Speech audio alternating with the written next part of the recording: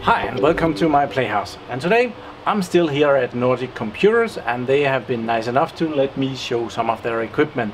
They have lots of equipment so I just had to go and pick something. Uh, we have seen this one before. Not long ago I showed this, we have one at work, um, but it was right over there so I thought let's just have a look at it again. This is the HP Proliant and it's the DL580 generation 7. This is a 4 socket CPU server and this is one of the servers that are designed so you can service most of the server on the front of the server and on the back of the server. Very rarely will you have to open it up, but there is the occasion that you have to. So the CPUs and the RAM is all accessible from the front, as is the drives and I have to remember the CD-ROM drive because I always forget to tell you that there's a CD-ROM drive in here. But let's go over the server and see what we got. So here it is and we have the standard thingy here where it tells us the administrator code, uh, password, serial number and that's on all newer HP servers. It has room for 8 hard drives and there are 1, 2, 3, 4, 5, 6, 7, 8 drives there and down here that entire thing is the tray for the RAM and the CPU and it pops out. There's a little handle that goes up and this pops out and you get to it that way. Over here we have the CD-ROM drive and DVD drive and this is not a rewritable. This is just a DVD-ROM I'm assuming that it can also run CDs we have the UID the little blue thing that you press and then it will light up on the back of the server as well. We have a SID which is this little panel that pops out and will give you whoa there's a lot here give you a little LED for each of the memory blocks. That's a lot of LEDs right there. So we have power on we have amp status we have health status we have power cap we have PCU 1 2 3 4 over here we have CPU link SPI link over temp we have four fans we have four CPUs one two three four and we have a bloody lot of RAM. Each of these little dots is a block of memory. And down here are the memory boards. There are eight memory boards in here and each of them has eight blocks it seems. So let's pop that in. We have LEDs for the health status. That is also on the front. We had it here. We have it there we have LEDs for four network connections and we have a big beefy power on and off button. Two USB ports, one VGA and release. Let's go around the back. Let's go around the back. This server is rather heavy. Do we have a weight? Uh, might be on the other side. This is equipped with an ILO 3 adapter so the management. First thing we have the tool. We have this little Torx thing that comes with a lot of HP servers. They have actually stopped.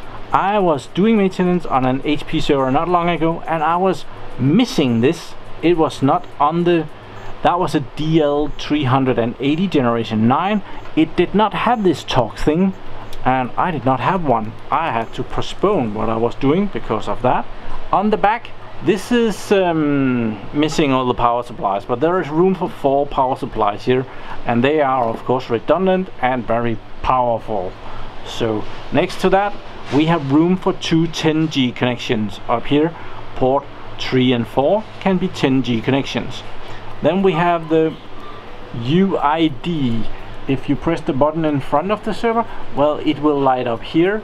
Then we have four network connections one two three four. We have a serial connection VGA connection and we have the old PS2 connections. One for the mouse the green one and one for the keyboard purple one.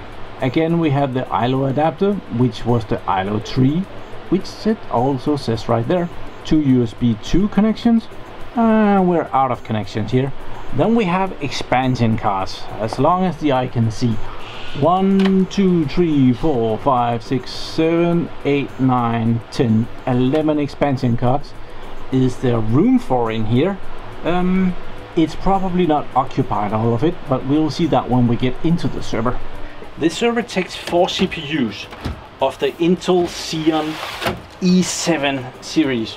Um, this tray pops out and then there's two connectors on the sides that you have to press in for security reasons. And then this pops out. And we can remove this for a little bit and have this tray sitting there all by itself.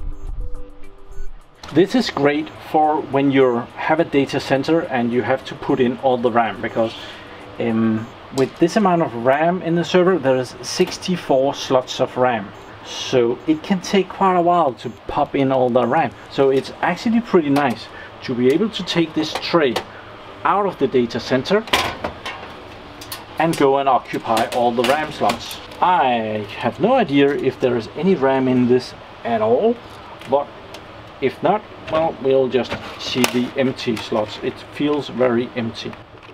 So there are eight boxes like this for RAM and each of these cartridges has room for 8 slots of memory.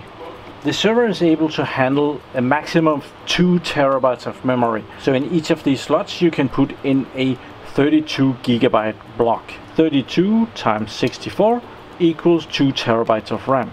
Um, unfortunately it's not there. To pop this in there's an air muffler here. If not all of these are present you don't really want the air to just piss through there without doing anything. So there is a thing here, this thing that prevents the air from just going through there when this thing is not in. So when you pop it in, you have to remove that first and then pop in the memory cartridge like that. On the other side, we have the CPUs and these are really big. The server is able to take the Intel Xeon, the 4800 and the 8800 series and these are rather beefy CPUs that can go up to having 10 cores. So if you had 10, 10, 10, 10, you'll have 40 real cores and with hyperthreading you will have 80 logical cores. Um, we could just try and pop one of these out.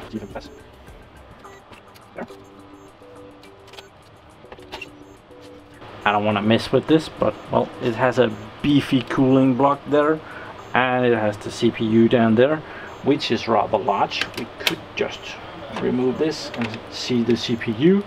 Not gonna take it out of there. Just uh, pop this back and and close this down and pop this back in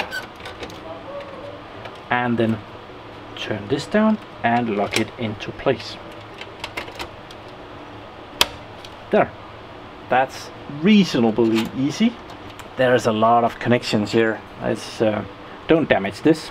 The bank will call if you do that. When you're done with your whatever you did here, you can put this back on and it just pops into place. There. So we can put this big tray back in the server. Just lift it a little bit here, there, and slide it in ever so gently.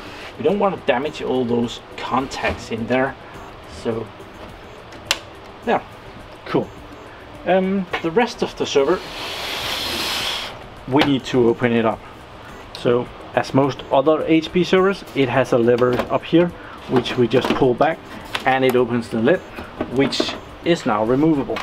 On the inside, we as usual have a lot of explanation about what everything is in the server so um, it's always a good thing to look at that. And that was upside down. Why didn't you say anything?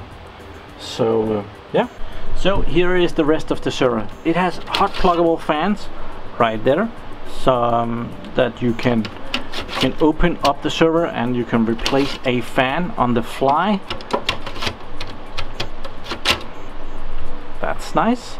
Down here we can see that this server is missing some of the connectivity here. It does not have this board here so all of these PCI Express ports out here is not usable right now. You need to put in another card here that connects with the CPU over there. This is one of the ways that HP has been able to make this server a little bit cheaper. And it's very reasonable because very very very often you don't use all that you just pop in a couple of cards and you don't use all of this. So it's not a bad idea to do it like that. Up here we have the backplane of the hot drives the 8 drives and this looks very similar to what I just saw in an HP DL360 generation 8 this print going from one side to the other side and being about 1U thick. So they are reusing technology from a 1U server nice. Let's turn around and see what's over here. Over here we have a mess of cables for the RAID controller. The RAID controller is mounted on this system board which is kind of weird. It's not on the system board itself. It's kind of a expanding upwards. And it takes an SD card right here um, a regular SD card just like the ones that are sitting right here on the shelf so you pop that in um, and it goes that way there and that's for loading your hypervisor on the system. If you're using VMware ESXi, well, that can easily be stored on a little SD card like this, and you wouldn't need a hard drive at all. Better put that back. If you're more old school and you want a USB stick instead, well, they have hidden a couple of USB sticks down there. You have, you need smaller hands to do that. It's um, it's not too easy to get to, but it's doable so ESXi installed better put that back otherwise it has four power supplies and these are standard HP power supplies which are available throughout their series. Over here there it has the two 10G connections going out and there is a little PCI Express port for those there. This card is kind of a special daughter board that they installed here if that is pleasant. Well don't think that you can access the USB connections down there. There's a lot of power connections here. Here we see three of these 10 pin connectors which are able to supply power over here where we actually have a couple of X16 slots where you could put in a graphics card if you have one. So that's awesome. And we have a couple of small LED things down here that can show numbers. Uh, if you have an error they will probably pop up down there as well. The RAID controller has an expansion card in here. It's possible to expand the RAID controller down there and there is kind of a slot for that. So if you are not satisfied with the standard RAID controller that is on the system board well there is a, a possibility of improving on that. And we have one expansion here. There's another expansion available over there. And I really don't know what that is for but it's it's just like the one for the RAID controller. So this HP server has widely been used for virtualization and bigger systems like databases. SQL, Oracle and SAP HANA databases are widely used on this. Um, it's, it's quite an expensive server, or at least it was. Nowadays you can actually often get these really cheap because there just ain't a market for them. So if you look them up on eBay or Amazon, I will try and see if I can find some good links for them and leave them in the description below. But you might just get a really good server to play around with. I do not recommend um, you running this at home 24-7. That would drain your wallet right down in the pocket of the power company. But it's an awesome server to have sitting around and powering up during the weekend and doing stuff on virtualizing stuff and just having a hell lot of power at your fingertips. Um, HP is not my favorite brand so I would probably um, also suggest that you go and look into some good old IBM stuff but that's just me world's biggest Lenovo slash IBM fan and um, well I just have to say that don't I? But this concludes my series on different servers here at Nordic Computers where I've been visiting for the day here in the autumn vacation that we have here in Denmark and I've used one of these days to see this location and do some videos with some of their equipment and I was shown around and showed that to you in the first video from up here. Um, so thank you very much to Nordic Computers for having me around for the day and uh, thank you very much for watching my videos do subscribe to my channel so that you can see me again. Check me out over at Patreon where you can support me with as little as a dollar a month and that helps a lot for me to get my own equipment to show you in deeper details. So have a nice day. Bye bye. Thank you.